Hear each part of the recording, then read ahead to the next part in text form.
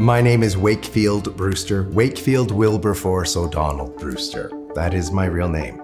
I'm a professional poet and spoken word artist. I have been a professional poet and spoken word artist now for 23 years, but I've only recently reached this particular level, this honor of being Poet Laureate of YYC. This is St. Gabriel's. It's in of St. Gabriel's Archangel, and it is in Chestermere.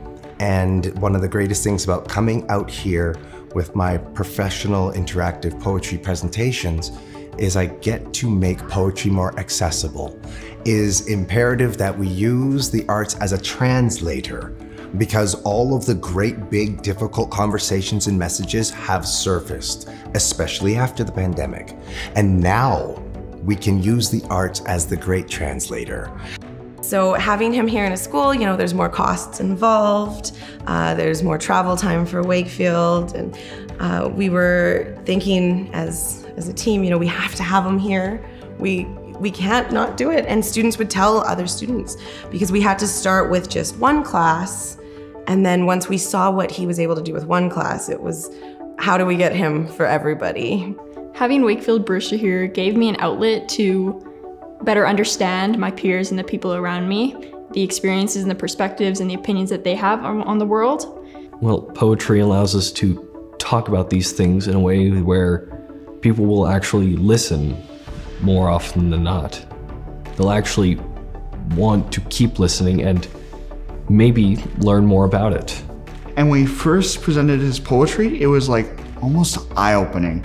Like like he it struck me and through that um through that inspiration i wrote my first poem that very day and i've been writing poetry ever since. It's been like six months. I've write, written over 20 pieces and i'm still writing them.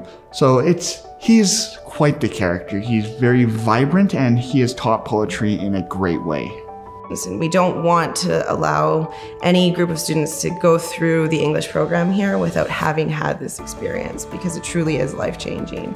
Um, so, you know, without this grant, we don't think we would have been able to have him um, this semester.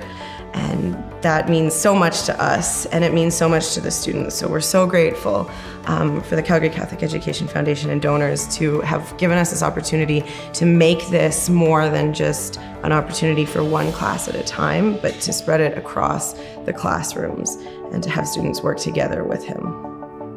Wakefield Brewster coming to our school not only developed our passion for poetry and literature, but he also was a model and advocate for acknowledging the social injustices in our school and community.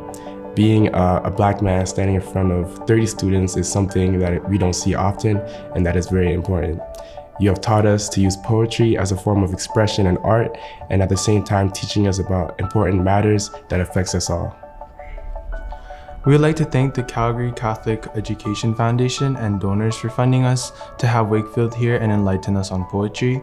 We would also like to thank you for your time, Wakefield, and we are in high hopes to see you in the near future.